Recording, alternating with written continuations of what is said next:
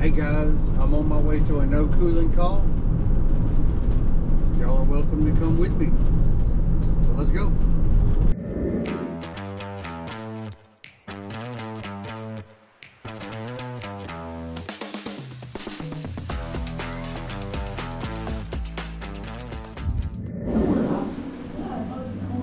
It just went completely out. Don't even come on. So thermostat's blank. Yep. Mm.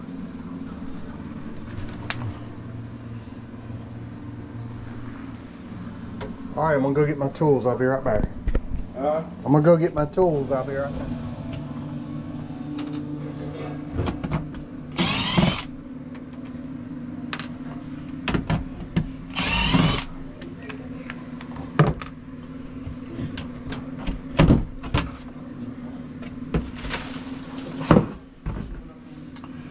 Hmm. All right, we got a blank thermostat. So let's check. First, make sure we got power.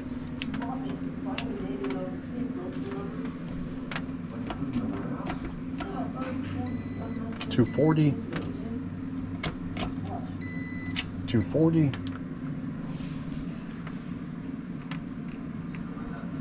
Twenty-four volts on the thermostat. Excuse me, on the transformer.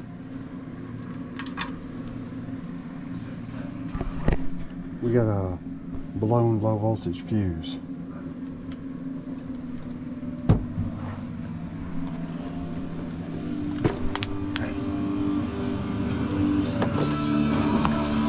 I don't know if I'm gonna be able to use any of this because of the music in the background. But I'm plugging up a 3 amp fuse.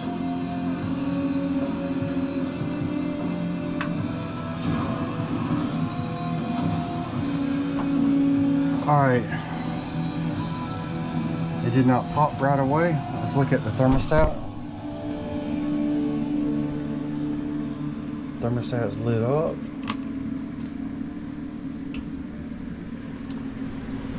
Fan comes on.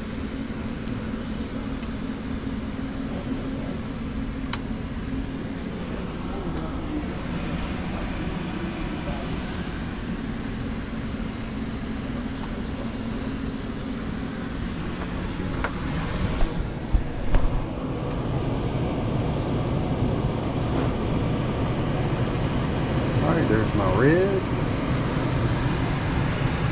I'm going to start jumping from red to my other colors, except for brown. And um, I'm most specifically interested in yellow. We know green's working, so here's my yellow.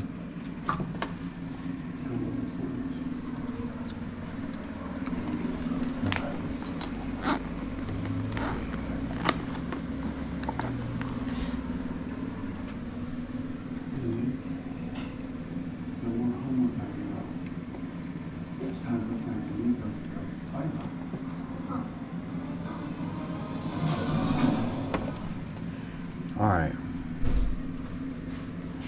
My yellows separated when I took them apart. So I'm just going to jump to each one slowly.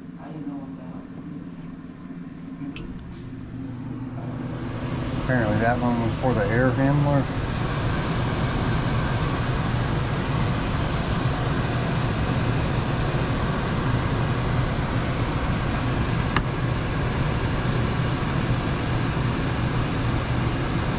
No. There. Thinking is my time delay have, may have ended on my.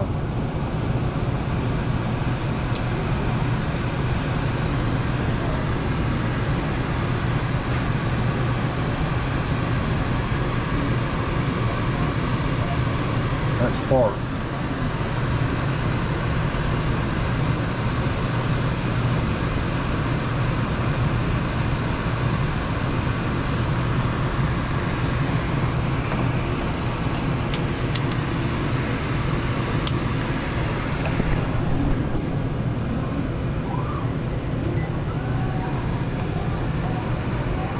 Right now that's pulling 0.35 amps.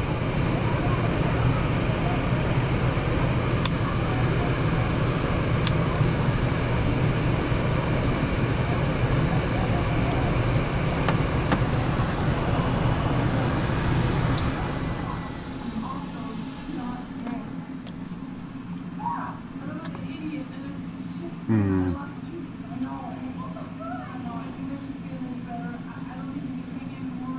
This time of year, it is not running in heat at all. It gets up to about 100 degrees during the day and then in the morning it's like 75 degrees. So we have no heat calls, no call for heat at all.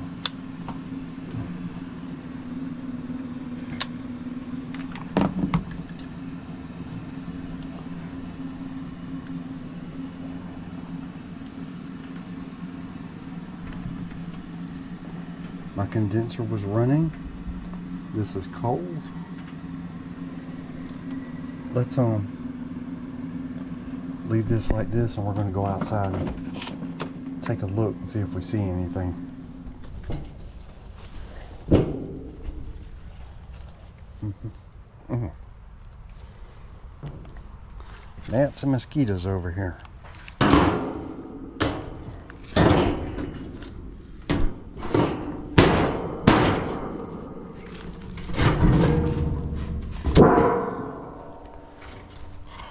Smokes. All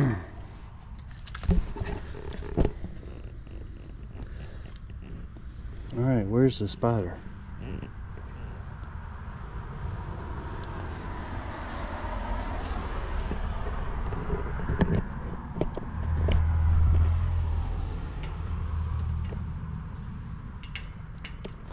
I don't see anything rubbing or touching.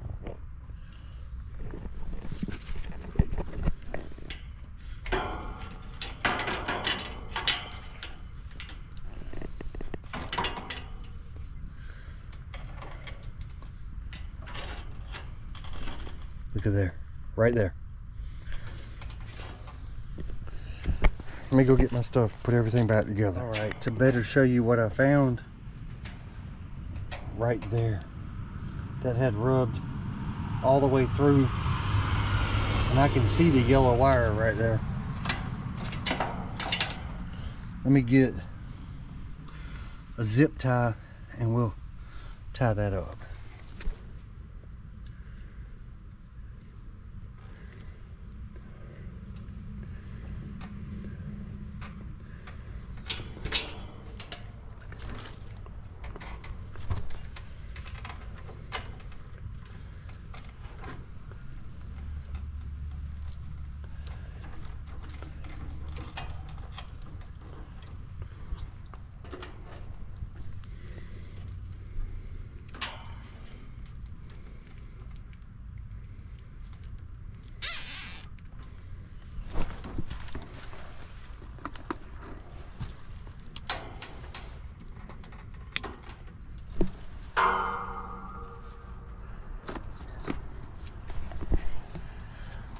All right.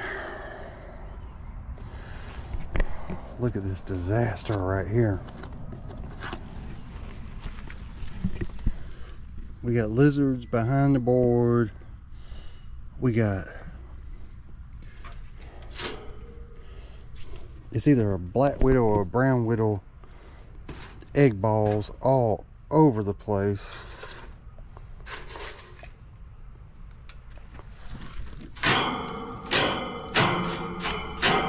Now they're all over the ground.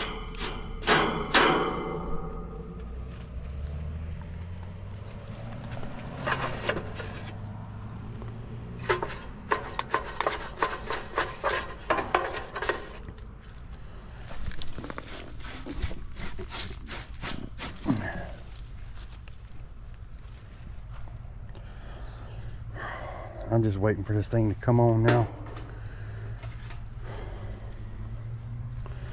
It looks like common has been bypassed.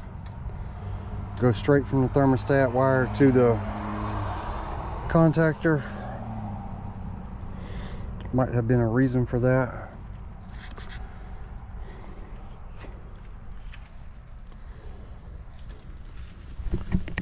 My normal place is down there.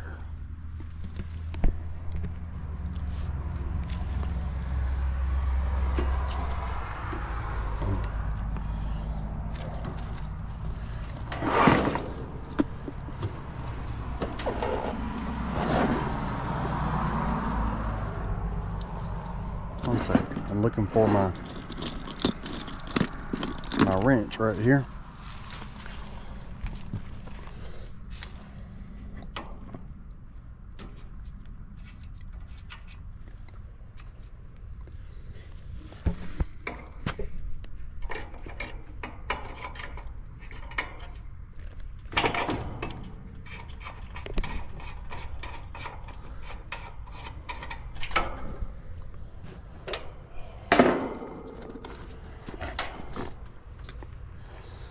They said that it wasn't blowing cold when it was working. So I would be remiss if I didn't check the pressures.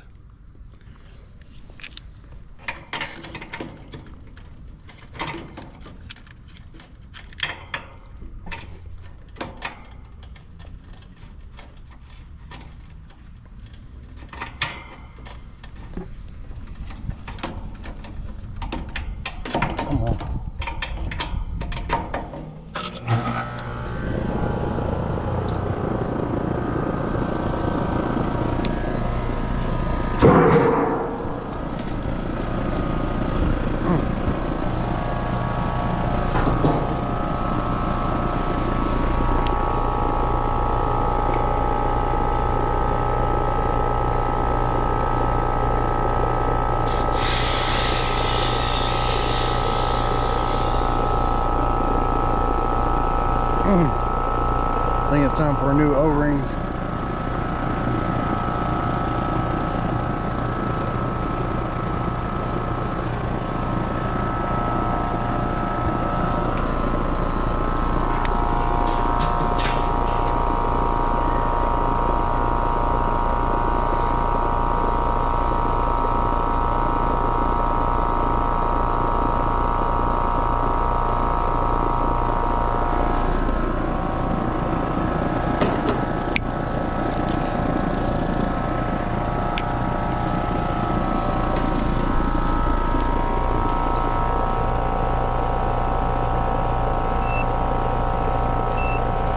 The looks a little bit small.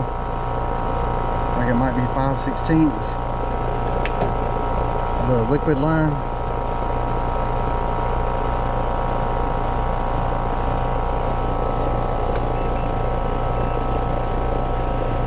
It's a small house. I didn't see what size this is. Two and a half ton. Really needs a three eighths.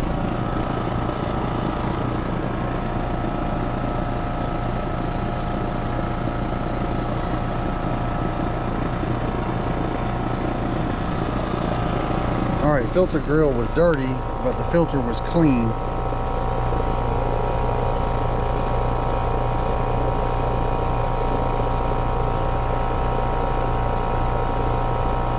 Low subcooling, kind of high superheat.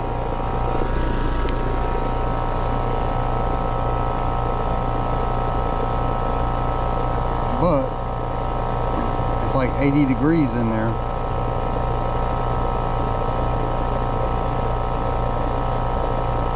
And on startup sometimes we do have low self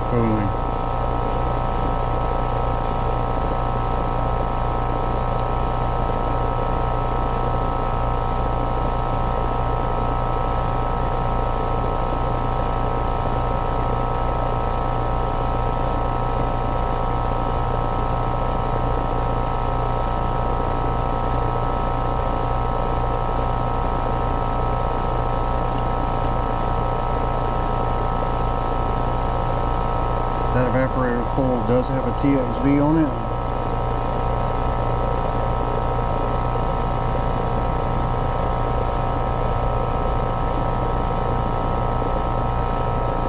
and hold that where y'all can see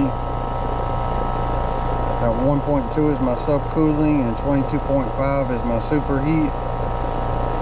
Pressures look normal.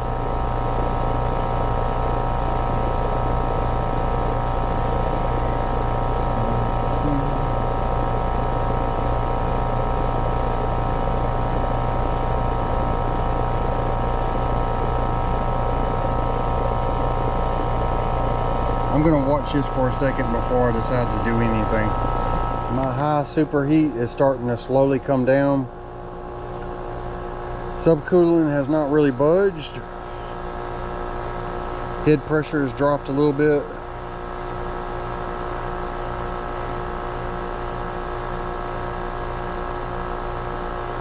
I think I'm gonna recommend coming back and doing a thorough cleaning of this like a preventive maintenance. My preventive maintenance is um, are a little bit costly, but I think we do that. Clean that filter grill, and um, we'll have a better idea whether or not we need to charge. All right, so I did give them an estimate for cleaning the condenser coil thoroughly and cleaning everything out and testing everything and maybe charging it with a little bit of refrigerant. And I got approval so I'm going back to that one to give it a thorough cleaning. I hope you enjoyed that little video. If you did how about like and subscribe? And I'll catch you on the next one